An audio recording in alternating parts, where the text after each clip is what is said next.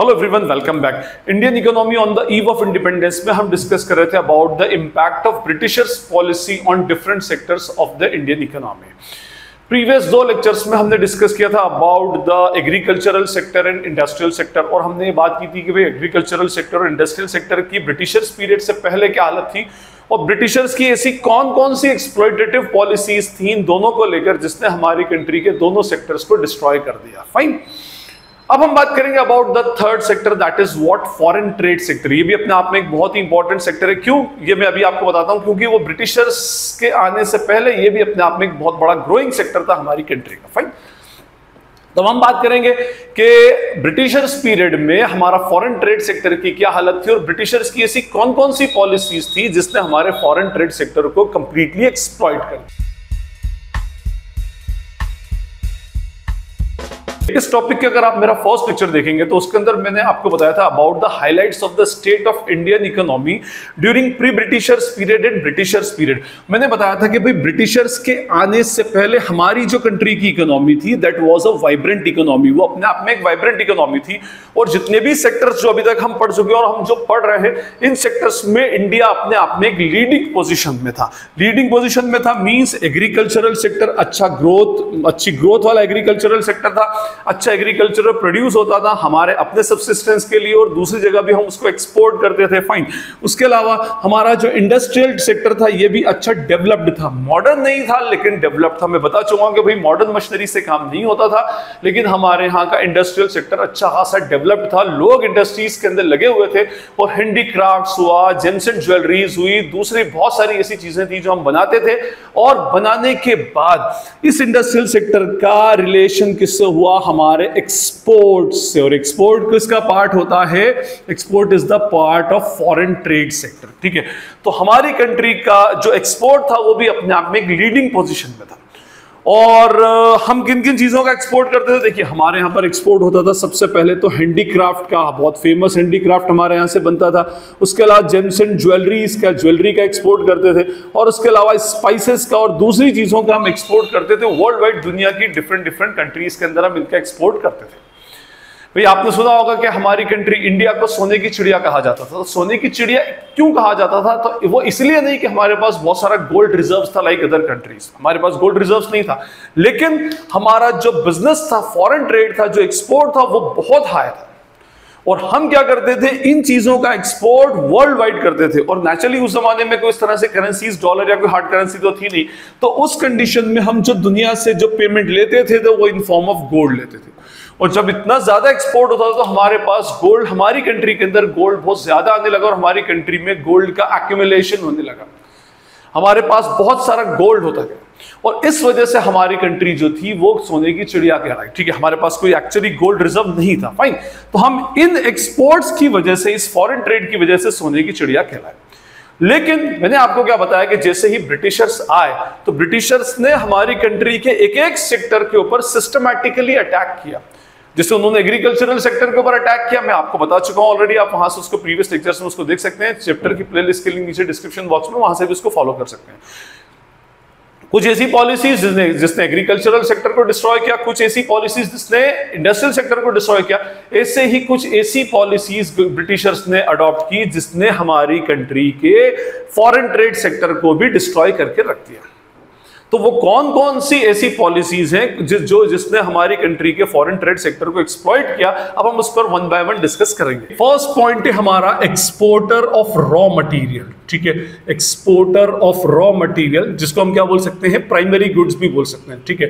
And importer of finish goods ठीक है, देखिए हम एक्सपोर्टर तो थे, लेकिन पहले ब्रिटिशर्स के आने से पहले हम इंपोर्टर ऑफ़ फिनिश गुड्स हुआ करते थे। फिनिश गुड्स हुआ करते थे मींस हमने हैंडीक्राफ्ट बनाया। अब वो हमारे यहाँ का जो क्लॉथ है या जो भी जो भी स्टिच्ड प्रोडक्ट है, वो जाकर के पूरी दुनिया के अंदर बिकता था। मीन्स हम थे एक्सपोर्टर ऑफ़ फिनिश गुड्स ठीक है, हमने जेम्स एंड ज्वेलरीज को डिज़ाइन किया और पूरी दुनिया के अंदर बेचा। मींस हम फिनिश गुड्स एक्सपोर्ट करते थे और उस फिनिश गुड्स के बदले में हमें बहुत सारा गोल्ड हमारे पास मिलता था, जिससे हमारा एक्यूमुलेशन ऑफ़ गोल्ड किया। फाइन लेकिन ब्रिटिशर्स के आने के बाद जो ब्रिटिशर्स की पॉलिसी थी, स्पेशली जो उनकी ट्रेड एंड टेरिफ पॉलिसी, जिसको हम बोलते हैं trade and tariff policy last time भी बता चुका था, फिर मैं आपको एक बार एक्सप्लेन कर दूँगा, उसने हमारी कंट्री को एक्सपोर्टर ऑफ़ रॉ मटेरियल बना नो डाउट ब्रिटिशर्स के टाइम पर हमारा एक्सपोर्ट सरप्लस था, लेकिन उसके भी कुछ ड्रॉबैक्स थे, मैं अभी बताता हूँ आपको, ठीक है? एक्सपोर्टर ऑफ़ रॉ मटेरियल बना दिया और इंपोर्टर ऑफ़ फिनिश गुड्स बना दिया। जिस चीज़ में हम लीड करते थे, जिसमें हमारा एक लीडिंग पोजीशन थी, जो हम एक्सपोर्टर ऑफ़ फिनिश गुड्स हुआ करते थे, उसी में हम कुछ ही वक्त के अंदर क्या बन गया, उसके इंपोर्टर बन गए और इसके पीछे पॉलिसी थी ट्रेड एंड टेरिफ पॉलिसी हमारे यहाँ से क्या किया कि ब्रिटिशर्स ने, मैं आपको प्रीवियस टू प्रीवियस लेक्चर बता चुका था कि ब्रिटिशर्स ने हमारे यहाँ के जो फार्मर्स थे पीजेंट्स थे उनको फ़ूड क्रॉप से डाइवर्ट करके कैश क्रॉप पर लेकर आ गए। और क्रैश क्रॉप कैश क्रॉप पे लाने के पीछे उनका जो main whole and soul purpose था, वो ये था कि availability of raw material for the industries running in the Britain ठीक है ब्रिटेन में जो भी मैंने आपको बताया था ये वो पीरियड था जब वहाँ पर इंडस्ट्रियल रिवोल्यूशन चल रहा था। तो इंडस्ट्रियल रिवोल्यूशन में नई नई इंडस्ट्रीज़ ब्रिटेन के अंदर स्टार्ट हो रही थी तो उनको रॉ मटेरियल की रिक्वायरमेंट थी और रॉ मटेरियल के लिए इंडिया से अच्छी जगह ब्रिटिशर्स को नहीं मिली। तो उन्होंने क्या किया? कैश क्रॉप में कन्वर्ट कर दिया जस्ट लाइक वॉट कॉटन उसके अलावा टी हुआ कॉफ़ी हुआ और फिर उसके बाद मैंने आपको बताया था इंडिगो। और इसके अलावा और भी बहुत सारे ऐसे क्रॉप्स जो उनके फिनिश प्रोडक्ट को, जो वहाँ पर इंडस्ट्रीज़ के अंदर काम आते थे, वो सारे के सारे हमारे यहाँ उगाना स्टार्ट कर दिया थैंक फाइन अब जब फ़ूड क्रॉप से कैश क्रॉप पे फार्मर्स डाइवर्ट हो गए, ये उन्होंने उगाना स्टार्ट किया और ये ब्रिटिशर्स उनसे बाय करते थे कंपैरेटिवली इससे ज़्यादा इंसेंटिव्स वो उनको यहाँ पर देते थे। ठीक है? अच्छा फिर हम इस एक्सपोर्ट को किसी दूसरी कंट्री को भी नहीं कर सकते थे। ब्रिटिशर्स पीरियड में नियर अबाउट 50 बल्कि more than 50 percent fifty percent plus जो हमारे यहाँ का जो एक्सपोर्ट था, वो मेजोरिटी एक्सपोर्ट हम किसको करते थे? ब्रिटिशर्स को करते थे। उन्होंने पॉलिसीज़ ही ऐसी बना रखी थी। अच्छा अगर कोई बंदा किसी दूसरी कंट्री को एक्सपोर्ट करना चाहे, हमारे यहाँ से और भी एक्सपोर्ट होता था, जैसे श्रीलंका में होता था, चाइना में होता था, पर्शिया मीन्स ईरान की साइड पर, यहाँ पर भी हम बहुत सारा एक्सपोर्ट करते थे। लेकिन अगर हमें यहाँ पर एक्सपोर्ट करना होता तो फिर वहाँ पर टैरिफ पॉलिसी चलती थी। मीन्स क्या होता था कि ब्रिटिशर्स ने टैरिफ पॉलिसी बना रखी थी कि भाई, अगर आप एक्सपोर्ट करते हैं ब्रिटेन को तो वहाँ पर आपको कोई एक्सपोर्ट ड्यूटी नहीं लगेगी मीन्स प्रोडक्ट सस्ता जाएगा। लेकिन अगर आप एक्सपोर्ट करते हैं रेस्ट ऑफ़ द वर्ल्ड को अदर देन ब्रिटेन तो वहाँ पर फिर आपको एक एक्सपोर्ट ड्यूटी एक टेरिफ जो था, वो लगा दिया जाता था। अब देखिए, जो प्रोडक्ट 100 का 100 में ब्रिटेन पर जा रहा है और अगर मान ले 20 परसेंट भी टैक्स है तो नेचुरली ये 120 रुपए का हो जाएगा। और यहाँ पर कंपटीशन के अंदर ब्रिटेन जो है, वो दुनिया की दूसरी कंट्रीज़ के ऊपर क्या करता था? लीड करना स्टार्ट करता डोमिनेट करना स्टार्ट करता भाई प्रोडक्ट सस्ता बेच रहा है, सस्ता प्रोडक्ट बेचेगा तो नेचुरली पूरी दुनिया के अंदर जो डिमांड होगी वो इन्हीं के प्रोडक्ट्स की होगी। फाइन तो एक पॉलिसी ये थी कि उन्होंने एक्सपोर्ट ड्यूटी हाई लगाना स्टार्ट की किसी भी दूसरे से, किसी भी दूसरी कंट्रीज़ में अदर देन ब्रिटेन ठीक है? तो हम क्या हो गया कि एक्सपोर्टर ऑफ़ रॉ मटेरियल बन गए। अब रॉ मटेरियल हमारे हुआ क्या? हम फ़ूड क्रॉप से कैश क्रॉप पर आ गए तो वो कैश क्रॉप जो भी उगती है, वो ब्रिटेन वाले क्या करते हैं? हमारे यहाँ पर से परचेज कर कर ले जाते तो पहली चीज़ उन्होंने हमको जो एक्सपोर्टर ऑफ़ फिनिश गुड्स थे ब्रिटिश पीरियड में, उनको एक्सपोर्टर ऑफ़ रॉ मटीरियल बना दिया। दूसरा, अब यहाँ पर ये भी मैंने आपको बताया था कि ब्रिटेन में आप रॉ मटेरियल इतना सारा दे करके प्रोडक्ट तो बना लेंगे। अब वो जो फिनिश गुड्स आपके यहाँ बनेगा, उसको बेचेंगे कहाँ? तो इंडिया जैसी कंट्री उनके पास अवेलेबल थी। तो उन्होंने हमारी कंट्री को मार्केट प्लेस बनाया फॉर फिनिश गुड्स और इसको एक बड़ा इंपोर्टर ऑफ़ फिनिश गुड्स बनाया। मैंने आपको बताया था कि भाई ये इंपोर्ट भी क्या होता था? ड्यूटी फ्री इंपोर्ट होता था। ड्यूटी फ्री इंपोर्ट होने की वजह से जो हम दूसरी कंट्री से जो इंपोर्ट करते थे, उसके कंपैरिजन में ब्रिटेन का जो गुड्स होता था, वो सस्ता पड़ता था। और सस्ता पड़ने की वजह से यहाँ पर वो सस्ता बिकता था। और हमारे यहाँ की हैंडीक्राफ्ट इस वजह से बर्बाद हो गई। और ब्रिटिशर्स जो जो वहाँ से जो कपड़ा बनाते थे, वो लाकर और जो भी दूसरी फिनिश गुड्स बनाते थे, वो लाकर उन्होंने इंडिया में सेल करना स्टार्ट कर और धीरे धीरे इसने हमारे यहाँ की जितनी भी हैंडीक्राफ्ट इंडस्ट्रीज़ थी दूसरी इंडस्ट्रीज़ थी, उनको भी खत्म कर दिया। और दूसरी बात, हमको क्या बना दिया? इंपोर्टर ऑफ़ फिनिश गुड्स बना दिया। जो country exporter of finish goods थी, वो कंट्री कुछ ही पीरियड के अंदर उनकी एक्सप्लोइटेटिव पॉलिसी की वजह से क्या बन गई? इंपोर्टर ऑफ़ फिनिश गुड्स बन गई। तो पहली पॉलिसी ये थी ट्रेड एंड टैरिफ पॉलिसी बोलते हैं इसमें। होता ये है कि भाई देखिए, आज भी गवर्नमेंट में आपको प्रीवियस लेक्चर में बता चुका हूँ कि आज भी गवर्नमेंट टैक्सेस को किसी चीज़ के कंजम्पशन को कंट्रोल करने के लिए या उसको उसको और सर्कुलेट करने के लिए बताती है। अगर बाय चांस कि हमारी कंट्री को लगता है कि एक्सपोर्ट को हमें बैन करना चाहिए, कम करना चाहिए तो गवर्नमेंट उसको सॉरी इंपोर्ट को हमें कम करना चाहिए तो गवर्नमेंट उसके ऊपर इंपोर्ट ड्यूटी बढ़ा देगी। अब जब इंपोर्ट ड्यूटी बढ़ाएगी तो नेचुरली वो प्रोडक्ट जो होगा वो महँगा हो जाएगा। अब महँगा हो जाएगा तो वो मार्केट के अंदर महँगा सेल होगा तो उससे हम उस प्रोडक्ट का हम क्या करेंगे? कंजम्पशन कम कर देंगे। तो कहने का मीनिंग ये होता है कि ये आज से नहीं ट्रेड एंड टैरिफ पॉलिसी बहुत सालों से चल रही है, जो क्या करती है हमारे यहाँ के एक्सपोर्ट को और हमारे यहाँ के जो टर्नओवर है उसको कंट्रोल अल्टीमेटली करती है। तो हमारा फ़र्स्ट पॉइंट है इसमें कि ब्रिटिशर्स की पॉलिसी ने हमारी कंट्री को एक्सपोर्टर ऑफ़ रॉ मटेरियल बना दिया और इंपोर्टर ऑफ़ फिनिश गुड्स बना दिया। वो कंट्री जो पहले एक्सपोर्टर ऑफ़ फिनिश गुड्स हुआ करती थी, ब्रिटिशर पीरियड के दौरान में वो इंपोर्टर ऑफ़ फिनिश गुड्स बन गए हमारा सेकेंड पॉइंट है monopoly control of britishers. Monopoly control of britishers over India's foreign trade देखिए, ये अपने आप में एक पॉइंट है। मोनोपोली कंट्रोल का मीनिंग होता है, हमारे फॉरेन ट्रेड का पूरा का पूरा कंट्रोल जो था, वो ब्रिटिशर्स के हाथ में था और ब्रिटिशर्स ने उसको अपने बेनिफिट के लिए और अपनी कंट्री के बेनिफिट के लिए ही यूज़ किया। ठीक है? मैंने आपको अभी थोड़ी देर पहले बताया प्रीवियस पॉइंट के अंदर, कि हमारी कंट्री का 50 परसेंट से ज़्यादा का जो फॉरेन ट्रेड था, वो हम किसके साथ करते थे? सिर्फ़ ब्रिटिशर्स के साथ में करते थे। इसके अलावा हमारा और भी फॉरेन ट्रेड दूसरी कंट्रीज़ भी चलता था जिस जस्ट लाइक व्हाट श्रीलंका से हम करते थे उसके अलावा चाइना से करते थे और उसके अलावा पर्शिया मींस ईरान से भी उस टाइम अभी का ईरान और उस टाइम का पर्शिया उससे भी हमारा फॉरेन ट्रेड चलता था। लेकिन क्योंकि हमारा जो majority percentage of foreign trade है वो एक ही कंट्री के साथ चल रहा है तो आप सोच सकते हैं कि हमारा जो जो, जो वो कंट्री है वो हमारी इस फॉरेन ट्रेड को किस तरह से डोमिनेट करती है। ठीक फाइन और ये कैसे पॉसिबल किया उन्होंने? ड्यू टू डिफरेंशियल ट्रेड और टैरिफ पॉलिसी मैंने अभी आपको बताया ट्रेड और टैरिफ पॉलिसी अगर आपको ब्रिटेन से बिज़नेस करना है तो वहाँ पर ट्रेड और टैरिफ जो था, वो बहुत लीस्ट होता था, ये ड्यूटी फ्री होता था. और अगर आपको दुनिया की दूसरी कंट्रीज़ से अगर आपको ट्रेड करना है, भले आप एक्सपोर्ट करें इंपोर्ट करें तो वहाँ पर वो हेवी टैरिफ या हेवी ड्यूटी लगाते थे. जिस वजह से उस कंट्री से हमारा जो ट्रेड है, वो ट्रेड क्या होता था? डिस्करेज होता था. तो ये प्रॉब्लम हमारे साथ चली। मींस हम एक्सपोर्टर इंपोर्ट कर रहे थे, लेकिन उसके ऊपर डोमिनेंस जो था, वो डोमिनेंस पूरी तरह से ब्रिटेन का था। दूसरी बात, ये डोमिनेंस और जब शदीद हो गया, जब 1869 में स्विस कैनाल ओपन हुई अब देखिए सुइस कैनाल का अपने आप में एक इंपॉर्टेंस था। क्यों? क्योंकि इसने ब्रिटेन के जो ट्रेड था उसको और और उसकी जो मोनोपोली थी जो वर्ल्ड मार्केट के ऊपर उसको और ज़्यादा बढ़ाया। 1869 से पहले जो इंडियन पोर्ट्स और ब्रिटेन पोर्ट के बीच में जो दूरी थी वो 12,300 माइल्स की थी।